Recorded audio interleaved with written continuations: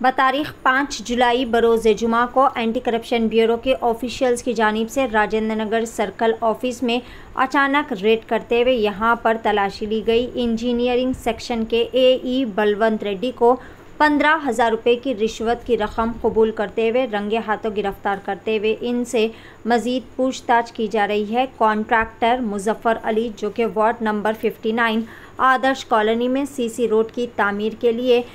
यहाँ पर बलवंत रेड्डी से मदद के लिए आए थे, लेकिन बलवंत रेड्डी ने कॉन्ट्रैक्टर मुजफ्फ़र अली को बिल की मंजूरी के लिए चौबीस हज़ार रुपये की रिश्वत का मुतालबा किया था, जिसके साथ ही कॉन्ट्रैक्टर मुजफ्फ़र ने एसीबी हुकाम से रुजू किया और फिर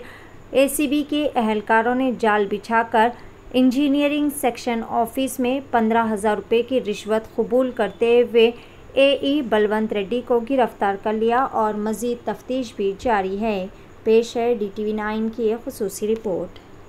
आज Rajendra Nagar circle eleven GHMC office में एई हाउसिंग बलवंत रेड्डी को